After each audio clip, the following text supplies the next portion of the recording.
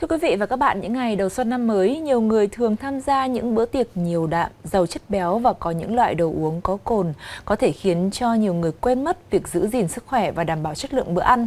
Không chỉ gây ảnh hưởng tới sức khỏe trong những ngày Tết mà những thói quen này có thể gây ra những hậu quả lâu dài. Ở năm mới chúng ta thường chúc nhau mạnh khỏe, vậy chúng ta cần làm gì để không chỉ trong những ngày Tết mà cả năm đều luôn khỏe mạnh và đẹp? Đây sẽ là nội dung mà chúng tôi muốn đề cập đến trong chương trình chào buổi tối ngày hôm nay với tiến sĩ bác sĩ Trương Hồng Sơn, Viện trưởng Viện Y học ứng dụng Việt Nam. Xin chào ông Sơn, ngày hôm nay đã đến trường quay của chào buổi tối. Vâng ạ, xin chào biên tập viên và xin chào khán giả truyền hình. Vâng, như chúng tôi đã nhắc đến lúc đầu chương trình đó là trong những ngày Tết thì chúng ta thường có một cái chế độ ăn uh, nhiều đạm hơn ừ. so với những ngày thường. Rồi chúng ta lại còn ít vận động này, nghỉ ngơi nhiều này. Vậy thì cái chế độ ăn này có thể gây ảnh hưởng đến sức khỏe của những cái người mà ăn quá đi nhiều, không điều độ trong ngày Tết hay không ạ? Vâng, đúng là chúng ta thấy rằng là trong cái Tết thì nó có sự thay đổi rất là nhiều. Ngày xưa thì uh, trong truyền thống ấy, chúng ta hay gọi là chữ ăn Tết, để có chữ ăn trong đấy. Thì chúng ta thấy rằng là đối với chế độ ăn ngày Tết ấy, nó khác với ngày thường à, khá là nhiều. Chúng ta sẽ có rất là nhiều các bữa tiệc tùng này và chúng ta cũng có rất là nhiều những cái sự thay đổi về trong chế độ ăn. Ví dụ như là chúng ta sẽ ít về những phần về rau hơn. Chúng ta sẽ có rất là nhiều những cái đồ ví dụ như là bánh trưng này, rồi giò chả rất là nhiều cái vấn đề thì ở đây ấy, thì chúng tôi thấy nhấn mạnh có mấy điểm điểm thứ nhất ấy, là chúng ta đã cố gắng là phải xem lại những cái chế độ đấy để mà làm thế nào đảm bảo được sức khỏe không có những cái tăng lên những phần tiệc tùng quá nhiều. Bởi vì những cái điều đấy nó có thể dẫn đến cái tăng cân của chúng ta. Nếu như một số nào bạn nào mà đã có nguy cơ thừa cân hoặc đã thừa cân rồi thì nó sẽ tăng cân rất là nhanh. Thứ hai nữa thì nó liên quan đến vấn đề vệ sinh an toàn thực phẩm. Bởi vì tết thì chúng ta thấy rằng là cái đồ ăn sẵn chúng ta là ăn nhiều hơn là những đồ tươi sống. À, cái thứ ba nữa là chúng ta lưu ý đến vấn đề về đồ uống. Bởi vì tết thì khi gặp nhau chúng ta thường hay có một cái thói quen là chúng ta sẽ nâng ly cùng với nhau và cái điều đấy nó cũng liên quan đến vấn đề sức khỏe và cái điểm thứ tư là thay đổi về chế độ sinh hoạt bởi chúng ta thấy là duy trì được một cái nhịp sinh hoạt như hàng ngày điều độ như hàng ngày trong dịp Tết quả là không dễ và như vậy tất cả những điều đấy nó có thể nó gây ảnh hưởng đến sức khỏe của các bạn. Vâng, cụ thể là nó có thể gây ra những cái triệu chứng hoặc là những vấn đề về sức khỏe như thế nào Vâng, chúng ta thấy rằng là đầu tiên ý, thì chúng tôi nghĩ nói đến vấn đề thừa cân. À, bây giờ chúng ta thấy rằng là người Việt à, chúng ta trước kia thì cái câu chuyện thừa cân thì nó ít thôi. Nhưng cho đến nay thì chúng ta cũng đã đang đang đuổi theo thế giới với tốc độ rất là nhanh. Ví dụ như chúng ta thấy là người Mỹ chẳng hạn hiện nay thì đến khoảng 50% đã có thừa cân. À, chúng ta thì con số đấy ở các thành phố lớn thì trong một số cái tỷ lệ điều tra ấy, thì con số đã lên đến hai ba mươi phần trăm như vậy chúng ta thấy rằng là đối với những bạn nào mà thừa cân ấy, thì ngày Tết là rất dễ có tăng cân à, rất là nhiều người mà khi đến với chúng tôi nói rằng là sau dịp Tết ấy, lên có khi lên khoảng 2 cân vâng, khá là thường, thường xuyên như thế. Nếu mà từ 5 đến 7 ngày mà ăn xả phanh thì chắc chắn là có thể lên từ 1 đến 2 cân đấy ạ. Vâng đấy là cái đầu tiên. Cái thứ hai là chúng ta thấy rằng là chúng ta có thói quen là chúng ta sẽ tích trữ thực phẩm ở trong tủ lạnh. Và với một cái tủ lạnh à, nó là phục vụ cho cái nhu cầu hàng ngày ấy, thông thường thì bây giờ nó sẽ phải chứa cho luôn cả đến 10 ngày. Thì chúng ta biết rằng là nó sẽ chật cứng cái tủ lạnh này và cái vấn đề vệ sinh à, làm thế nào để cho giữa thức ăn sống và thức ăn chín ấy, nó không bị ảnh hưởng lẫn nhau thế rồi là chúng ta ăn những cái đồ mà thức ăn ừ, cái bảo quản không tốt có thể nó gây ra những rối loạn tiêu hóa. À, điểm thứ ba là liên quan đến rượu bia. Chúng ta biết rằng là rượu bia thì ừ, cố gắng là chúng ta sẽ nên sử dụng ít.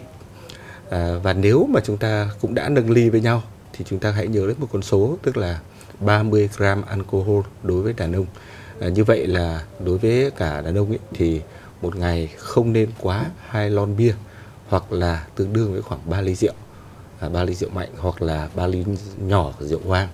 À, và khi chúng ta đã uống rượu bia rồi thì chúng ta hãy không tham gia cái giao thông không lái xe. Thì đấy là cái điểm như vậy.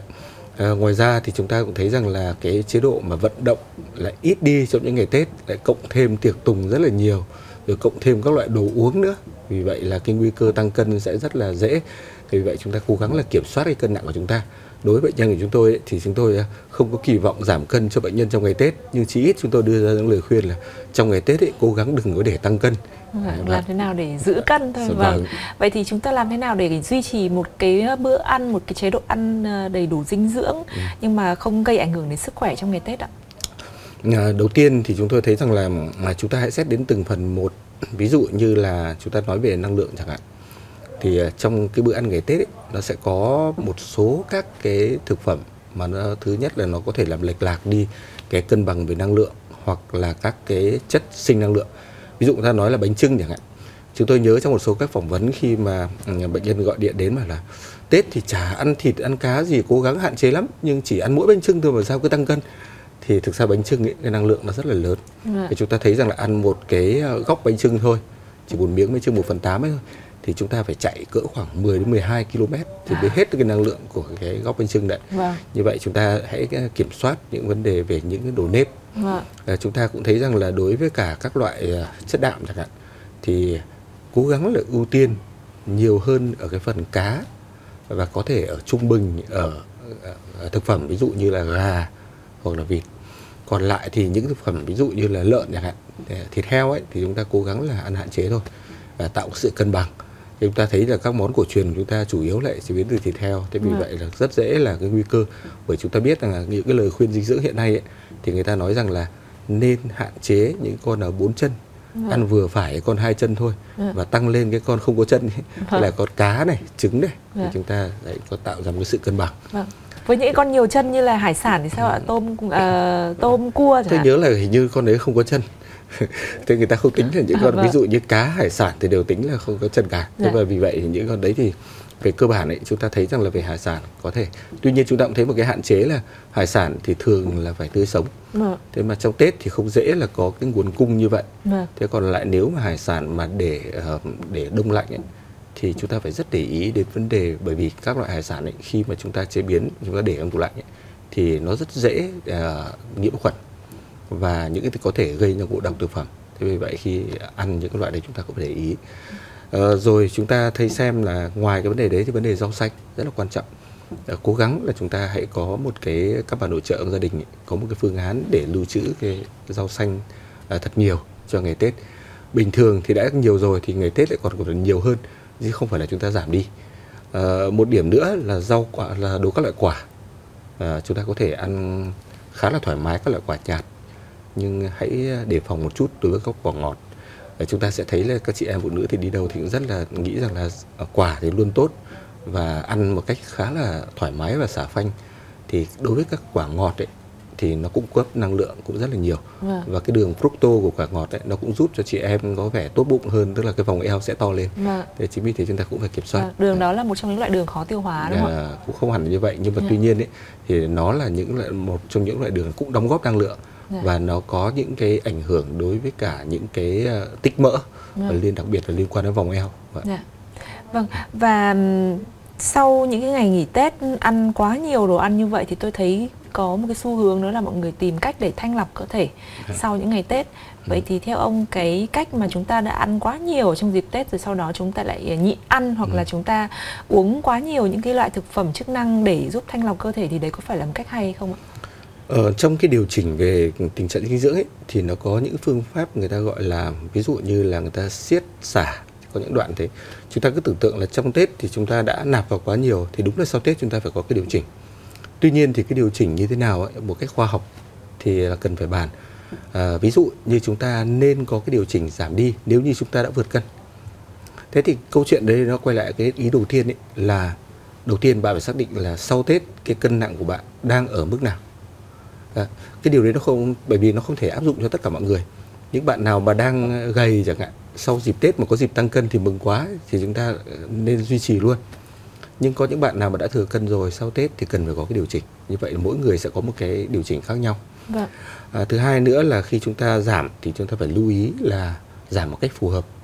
À, chúng ta cứ tưởng tượng là cơ thể của chúng ta giống như cái xe chúng ta không thể đạp là ga thật nhanh chạy thật nhanh trong phanh một cách giật cục được và chúng ta hãy cố gắng là giảm tốc độ một cách vừa phải. Ừ.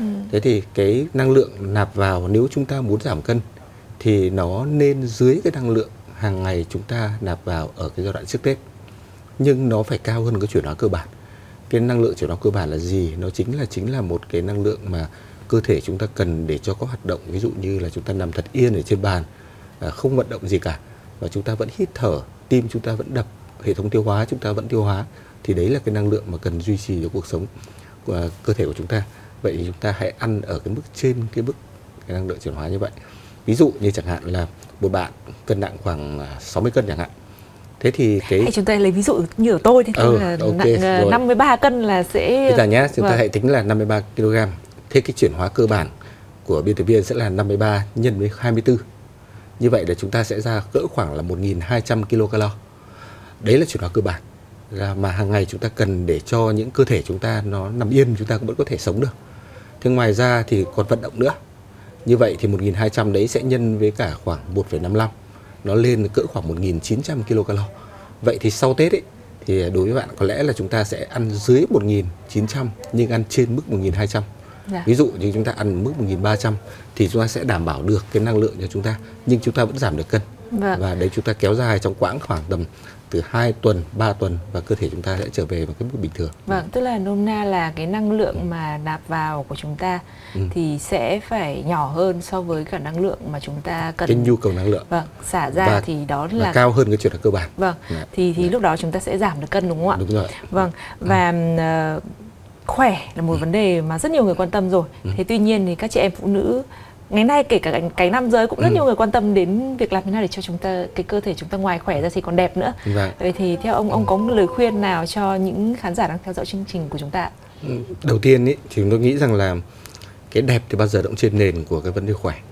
Nếu chúng ta không khỏe thì chúng ta không thể đẹp được. Thì đầu tiên là chúng ta phải tính là chúng ta phải khỏe đó. Cái khỏe ở đây ấy, thì nó liên quan cả những vấn đề liên quan đến các bệnh. Có một tình chúng ta không có bệnh. Ngoài ra chúng ta cũng cái vóc dáng phù hợp để không tạo ra các nguy cơ các bệnh mãn tính. Rồi chúng ta tiến đến một cái bước nữa là chúng ta có để ý đến cả những vấn đề liên quan đến chăm sóc nữa. Ví dụ như là vấn đề tập luyện chẳng hạn. À, tập luyện rồi là những vấn đề liên quan đến cả những vấn đề liên quan giấc ngủ. Như vậy thì để đảm bảo và chúng ta có được một cái nền tảng tốt về vẻ đẹp ấy, theo chúng tôi chúng ta ngoài cái vấn đề về cái sức khỏe thông thường mà chúng ta hiểu thì cả những vấn đề liên quan đến vóc dáng cả những vấn đề liên quan đến chăm sóc bao gồm tập luyện và giấc ngủ và nếu chúng ta tất cả những cái điểm đấy chúng ta có một cách hài hòa và một cách nó hợp lý đối với cơ thể của chúng ta thì chúng ta có nền tảng để chúng ta có thể uh, có một vẻ đẹp đẹp hơn. Vâng, tức là trong những ngày Tết thì chúng ta cần phải lưu ý về dinh dưỡng trong bữa ăn làm sao cho cân bằng yeah. Dạ. lượng vừa đủ. Yeah. Dạ. À, nên cố gắng duy trì một số những cái hoạt động ừ. thường ngày yeah. Dạ. và ngoài ra thì giữ một cái tinh thần thoải mái, một cái giấc ngủ sâu và ngon thì vâng. chắc chắn là vâng. dù có Tết hay là không Tết thì chúng ta cũng sẽ có được một cơ thể khỏe mạnh và đẹp đẽ đúng không ạ? Vâng, vâng cảm ơn ông yeah. Trương Hồng Sơn ngày hôm nay đã đến với trường quay của chào buổi tối. Yeah. Cảm ơn quý vị đã dành thời gian theo dõi chương trình của chúng tôi. Xin kính chào tạm biệt và hẹn gặp lại.